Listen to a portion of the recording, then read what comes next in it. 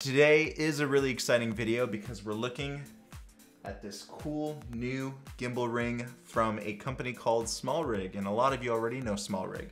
So this is a carbon fiber gimbal ring, and initially it was made for the Zhiyun Crane 3S, but luckily it works with a ton of other gimbals. For example, I have the Crane 2S gimbal rigged on this ring, along with the Sony a7S, and I change lenses between the Sigma 24-70 and Zeiss 16-35.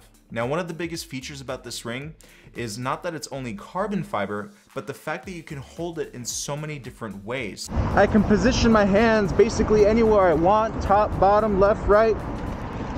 Oh, I almost fell off there. But don't worry, I got a helmet. That's what the helmet's for. But anyway, as you can see, one hand on each side. I can also change the grip, lower the gimbal if I want. So when I get off the unicycle, I'm gonna show you exactly how to properly hold this thing. But basically, you can hold it on the sides here with those little, uh, you know, soft pads or soft grips that they put on here. Or you can hold it at the bottom. And this is really useful, especially when my hands get tired. So I can keep shooting even though my hands are kind of losing their strength. So I really like that.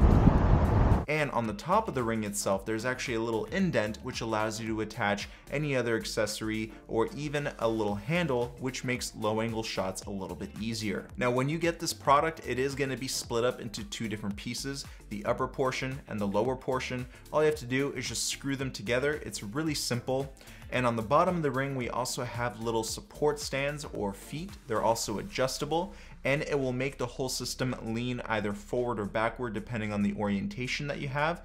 But I do love the quality of such a simple accessory for your gimbal. And don't forget the cool POV shots that you can get too with this ring. Woo! I love it. Compared to aluminum, carbon fiber is stiffer. For the most part, it is stronger and it is relatively lighter. So all in all, you are shedding off some weight when you're using this type of rig. Now this rig has a great quick release system. It's very similar to that of a quick release system on your tripod. All you have to do is attach the base plate to the bottom of your gimbal. There's actually little locking pegs on the quick release plate so it locks right into your gimbal and it doesn't let you prematurely twist it so it won't loosen up while you're shooting.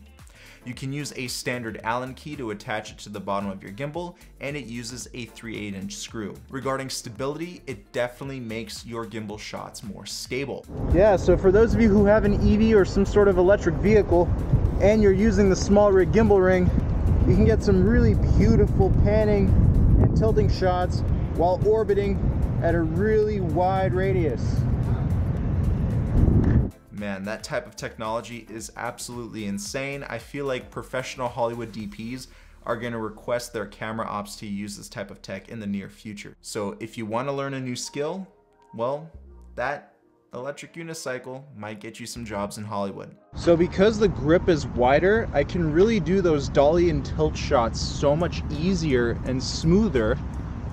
No problem. I mean, I wish I had a better subject to shoot, but you just see how smooth it is? You can't really achieve that smoothness without this gimbal ring, or at least it takes a lot more effort to do so. And bro, the POV mode looks absolutely sick with this ring. I'm just changing my gravity from one side of the ring to the other side of the ring and it just creates such a smooth POV shot that would be really difficult to get without this thing. Now because the gimbal ring is pretty large, you might have some issues when getting low angle shots. The rig itself stands at a little over a foot and a half tall, so it's gonna be tricky to get really low down to the ground. One subtle drawback about this ring is that you can't really go low angle. That's about as low as I can get it. For some it might be okay, but if you're trying to capture feet or someone's legs, it's going to make it a lot more difficult. But at least you can get somewhat low angle, but just not too low angle. And if I hold it from the top like I am right now, you get really smooth orbits, really smooth. Regarding the regular gimbal modes such as pan follow and full follow, this is absolutely beautiful. It really stabilizes my shots. And obviously, since we are social distancing, I wasn't really able to shoot with the model in the park unfortunately, so I really didn't have too much of a subject to shoot with, but I think you kind of get the idea when you look at this footage at how smooth the shots can actually be. Another little drawback is that you won't be able to shoot in vortex mode because this will force the camera to point up and we have a bar going around the camera. So your camera is just gonna be on that bar. So if you do want to use vortex mode, again, you should remove your gimbal from the ring. Now in vortex mode, you can't really do much because you can see that when I go into vortex mode, the camera points up and then it's just staring at the top of the ring the whole time, no matter what you do.